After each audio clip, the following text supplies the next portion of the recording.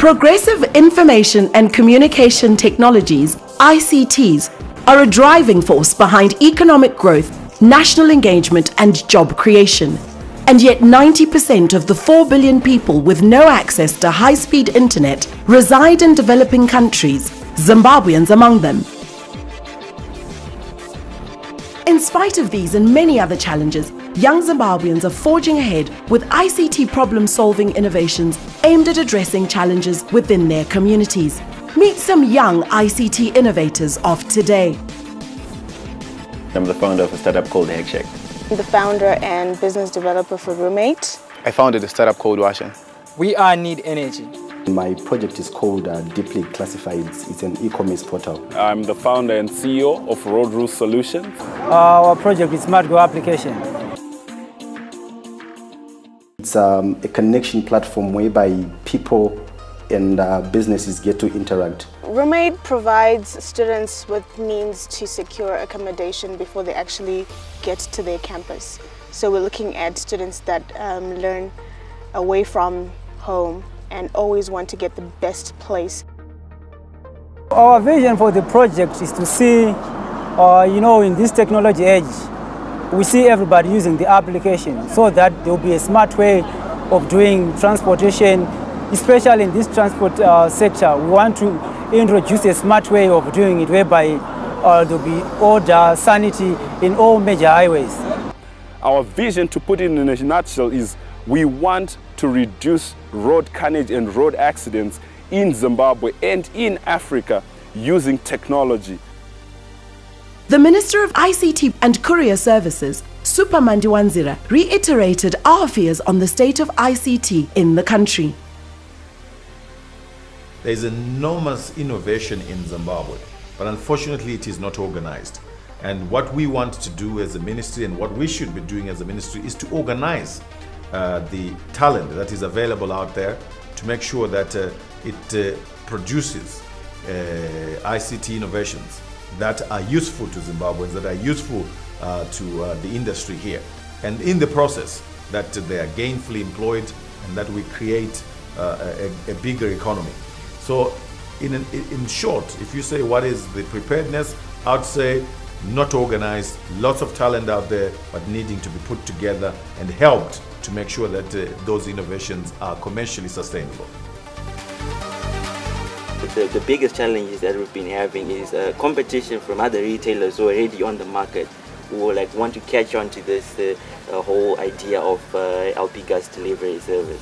Well, there are challenges that we faced, uh, particularly in creating an efficient delivery system and also finding and training washers to handle the job well. I had to learn more of the business side of things, uh, given that uh, I was more of a tech person. I know my way around electronics, so I had to get into the business model. And then I think I had a bit of a challenge with uh, uh importing stuff into the country.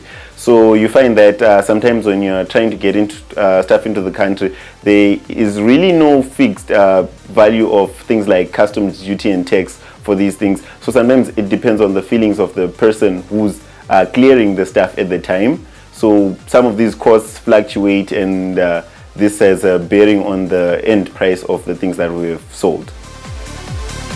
The Ministry of ICT, Postal and Courier Services, in partnership with POTRAZ as the implementing agency, which is the Postal and Telecommunications Regulatory Authority, are putting together, and it's been launched now, uh, the ICT Innovation Fund. The objective is to make sure that uh, we develop as a country innovations by our people that are used by our people. First and foremost, our people must be the initial market. But we don't limit this market to Zimbabweans only. This uh, uh, is, is a global space uh, in the ICT sector that must be occupied. We believe innovations that can be done here and are working here can be sold across other African countries. Beyond Africa, can be sold globally. So we want to promote innovation by our young people. If people or systems or the ministries, the relevant ministries that support young innovators could come in and make sure that red tape that makes barriers for young innovators to implement their innovations in countries can be removed or can be reduced, that would be a good thing to have. To achieve this, we need a strong marketing campaign so that people get to know about Smart Go application, they go to know about uh, the advantages, the benefits that they will get from using the application. We believe uh, we require funding because we are actually bringing a solution to a problem that is there. If I can also work with a number of people that are outside of Bulawayo, that could be great help in trying to translate that vision for the country and even the region. Takunda Chingonzo is one example of how far young ICT innovators can go given the opportunity and right support. Takunda is the co-founder of Neolab Technology, known as the Startup Factory, that works with young entrepreneurs in helping them turn disruptive ideas into scalable companies.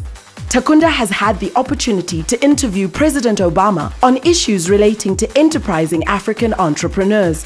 What we should focus as young people is what I call value chain businesses, right? They're those who are skilled in producing uh, whatever it is that they're producing, which is great. But let's figure out how to create a more efficient version of that product as it goes down that, that value chain from the farm until it gets onto the table. If you're talking about the registration process for companies being too long, right?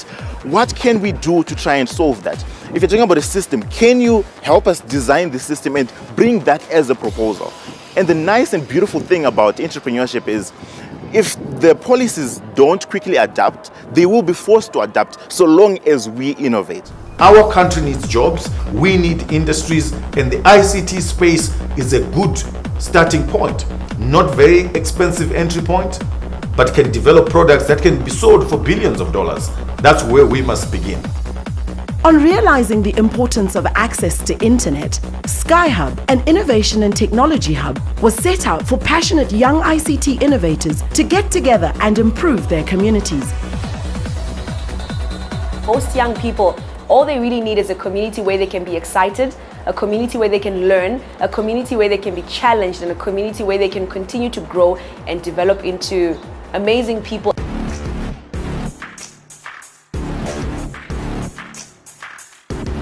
Development and ultimate prosperity is only possible in the face of effective ICT policy reform, private sector investment in broadband infrastructure, access to affordable internet, fair taxation for the telecom industry, the use of universal service funds to roll out countrywide broadband infrastructure, and private citizen response.